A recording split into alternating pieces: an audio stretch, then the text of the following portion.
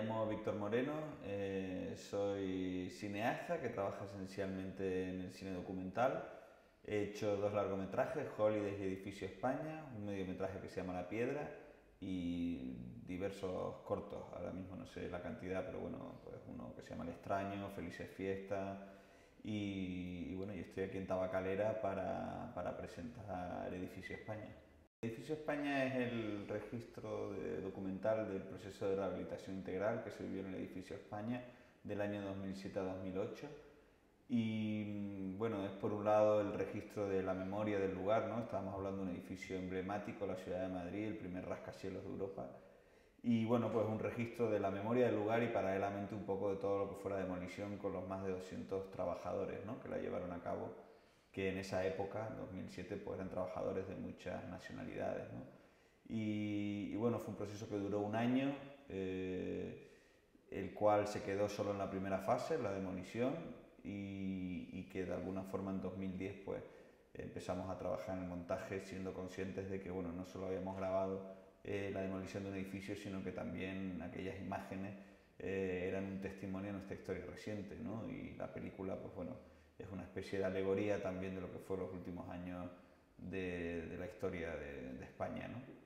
Y, y, bueno, la película se presentó en 2012, se vio en festivales como, San, como Bafisi, como Documenta Madrid, como San Sebastián, ¿no? en, en, septiembre del 2012. Y, y, bueno, poco tiempo después, en octubre, estando en Doc Lisboa, pues la película sufrió pues, una paralización debido a que el propietario del edificio, el Banco Santander, eh, no, que no quería que se exhibiera, alegando que perjudicaba sus operaciones comerciales con el edificio. Y bueno, eso tuvo la película paralizada eh, un año y tres meses mientras tratábamos de solucionarlo con ellos. Eh, entre medias, pues vine yo en enero del 2013 en una sesión que estaba prevista en Artelecuru del colectivo Cinemapa, una sesión para presentar Edificio España, que, debido a las circunstancias en las que estuvo en la que estaba se tuvo que frustrar ¿no? y no pudimos exhibirla. Sin embargo, yo vine y de hecho aquella sesión me sirvió a mí de mucho porque era la primera vez que, que compartía el problema con, con, gente ¿no? y fue una sesión muy importante para mí en San Sebastián. Y bueno, y ahora aquí volvemos eh, dos años después, ¿no? de, de, bueno, un año después de Artelecu y, y casi dos años después de, del Festival de San Sebastián para, para volver a presentar Edificio España en dos sesiones que que bueno, una será más enfocada con Víctor Iriarte a hablar de mi trabajo como cineasta relacionado con Edificio España y la otra pues será con el eh, arquitecto Iñaki Begiristain y el músico y cineasta Fermín Muguruza y también Víctor Iriarte y trataremos de hablar un poco de, digamos que, de lo que desborda la pantalla. Yo tengo diferentes formas de hacer películas, unas quizás que son más de mirada, ¿no? donde digamos, el a priori, eh, o sea, siempre se basa en una aproximación a, a lo real, ¿no? Y, y, siempre a lo cotidiano, etcétera, ¿no? Pero, pero hay algunas ocasiones donde sí que hay una construcción, por lo menos hay una especie de tesis, ¿no? Y vas un poco buscando esa tesis. Sin embargo, en Edificio España, y yo creo que también en La Piedra y en otros trabajos míos, y yo creo que, bueno, en Edificio España, el en el que más, con diferencia, más que la idea de mirada o la idea de, pues eso, de ir a grabar una película, está la idea de estar, ¿no? de estar en un lugar, de convivir en un espacio con, con la gente que, que lo ocupa eh, o que lo habita, de convivir digamos, con, en un tiempo con la dinámica que está en ese lugar. Y yo creo que eso fue lo que hice en Edificio España. ¿no? O sea, de alguna forma a mí no me interesaba tanto ir y con la intención de hacer una película y volverme a mi casa, ¿no? O estar dos horas o ir componiendo. No, sino que yo quería hacer una película donde se viviera en todo momento eh, o sea, el, ritmo del día a día de estar en ese lugar, ¿no? Y para eso me puse varias normas, ¿no? Que vinieron a ser un poco el guion de la película, ¿no?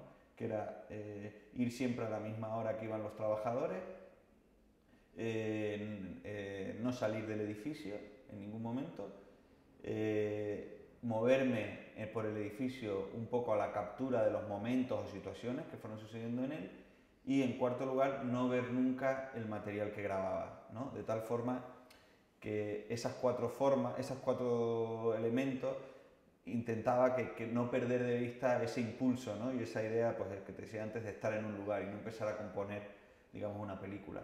Y después, lo interesante de este proceso es que después esa intención, ¿no? o esa actitud más bien, eh, se convirtió en, pues, en el reflejo de un proceso de transformación que traspasaba el edificio. ¿no? Y, y, yo creo que esa es una de las principales virtudes del documental. ¿no? A veces eh, estar pegado a esa realidad o a esa intrahistoria ¿no? que de alguna forma en el proceso de transformación y en la dimensión del momento pues empieza a cobrar sentido. El proceso de montaje es digamos lo más eh, o lo que a priori resultaba más complicado, ¿no? Eh, yo, tenía claro, yo había montado ya Holiday solo y tenía claro que en esta segunda película con 200 horas que ni siquiera había visto y que tenía una estructura caleidoscópica, pues tenía claro que quería trabajar con gente, ¿no? Eh, entonces, bueno, lo que hicimos fue un o sea, me reuní de cuatro personas que básicamente, bueno, son profesionales, son también cineastas, pero antes que nada son amigos míos y gente con la que me entiendo muy bien. Y, bueno, lo que hice pues fue eh, en cada fase yo ir con uno, ¿no? O sea, es decir, que nunca yo estuviera encontrándome y reencontrándome con el material, ¿no? Y como eso es algo complicado, ¿no? de, de evitar cuando haces documental, pues lo que intenté es que siempre, por lo menos en diferentes fases, eh, tuviera alguien al lado distinto, ¿no? Para que ésta siempre pudiera ver el material desde los ojos del otro, ¿no? Y ese fue un poco el procedimiento. Después el resultado, pues sí que teníamos muy claro ya lo que había pasado entre medios, que era la crisis, el edificio parado y de alguna forma el concepto alegórico pues, pues se desarrolló más ¿no? en el montaje.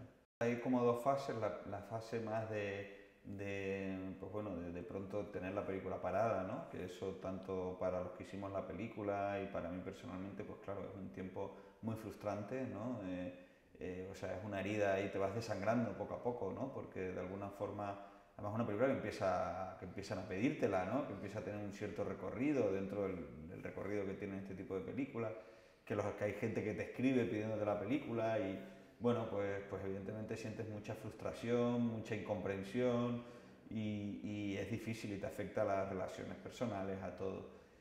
Después sí que es cierto que, mientras sufríamos eso empezábamos a sentir mucho apoyo, ¿no? De compañeros cineastas, de, asociaciones, de gente, o sea que de alguna forma, pues bueno, eso hacía en este dolor como más, bueno, más cómodo, ¿no? de, de llevar pero después, bueno, era la dificultad también de, que se conociera, ¿no? Y que se pudiera liberar la película por lo bizarro que nos parecía la situación. Y cuando decidimos hacerlo público, que se tardó, se, tardó no porque quisiéramos, sino porque no era fácil hacerlo, pues lo hicimos con una convicción moral muy fuerte, eh, sabiendo en todo momento que como mínimo queríamos que se supiera la noticia, porque era algo que ya nos estaba afectando, el mantener el silencio pero además lo hicimos con un apoyo muy fuerte, o sea, nos sentíamos como muy respaldados por lo que te digo, compañeros, asociaciones, gente, y eso pues de alguna forma nos daba seguridad para ir hacia adelante.